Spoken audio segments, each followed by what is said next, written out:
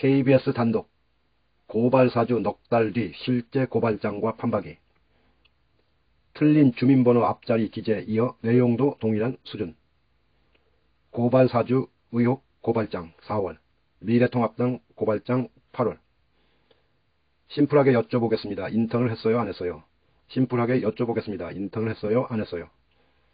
대법원 2013년 4월 26일 선고 2013도 993 판결로 유죄 확정. 고민정 의원 거론도 동일. 괄호 표기 내용도 동일. 박성민 최강욱 의원 고발장 초안과 미통당 작성 고발장은 말 그대로 판박이. 틀린 주민번호 특정인물 고민정 거론.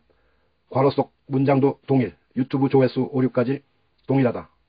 이 정도면 입이 두 개라도 할 말이 없어야 하건만 정치 공작이라 지저대는 이들은 뭐다? 박성민